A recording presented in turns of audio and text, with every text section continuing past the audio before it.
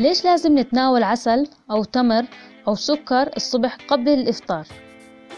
أكثر من شخص حكالي لازم نأخذ سكر الصبح لأنه حسب معلوماتهم عشان ما ينزل السكر الدم خلال اليوم وكمان عشان نرفع معدل حرق الدهون وفي ناس بتحكي لازم نأخذ مصدر السكر الصبح وفي ناس بتحكي مش لازم نأخذ مصدر للسكر الصبح أبدا جوابي أنا أخصائية التغذية إذا حسيت بأعراض هبوط السكر من خمول دوخة تعب عدم تركيز.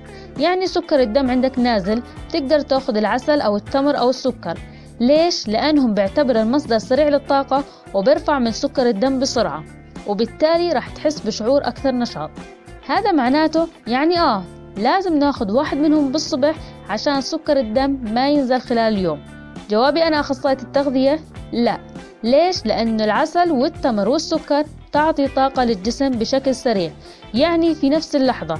وبعد فترة بسيطة خلال اليوم إذا كان أكلك كثير خفيف أو اتبعت برنامج قاسي أكيد رح ينزل سكر الدم عندك خلال اليوم. بمعنى ما رح تمنع من هبوط السكر خلال اليوم.